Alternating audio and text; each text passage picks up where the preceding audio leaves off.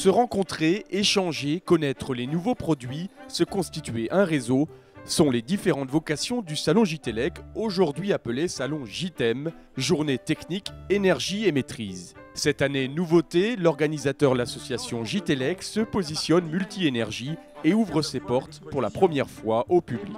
Nous changeons de nom pour bien marquer la rupture.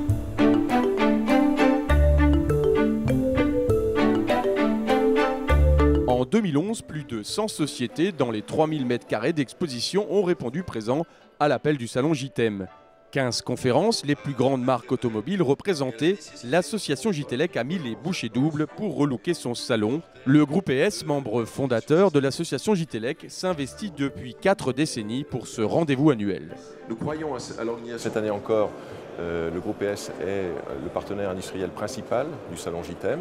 Ce n'est pas par hasard, c'est parce qu'on y croit. On pense que euh, l'organisation de telles manifestations est vraiment euh, importante. On pense que c'est une opportunité exceptionnelle d'avoir dans un même temps, sur un même espace, en un même lieu, l'ensemble des professionnels de, de la filière. Objectif, débattre en direct, se forger une opinion dans un marché de plus en plus concurrentiel et diversifié en matière d'énergie renouvelable et de développement durable.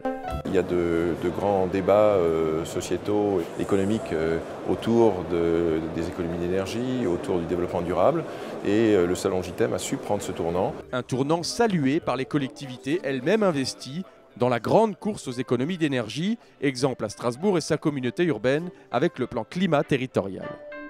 Les professionnels, les artisans, euh, les commerçants seront les premiers vecteurs de ce qui est indispensable pour nous, c'est continuer à vivre bien tout en consommant moins, parce que c'est un enjeu pour le climat, c'est un enjeu pour notre sauvegarde économique. Je pense que c'est très bien que les professionnels s'attachent à cela. L'association JTELEC a fait du salon JTEM le salon énergie de référence du bassin rhénan. Son objectif principal, dynamiser toujours plus le tissu économique régional.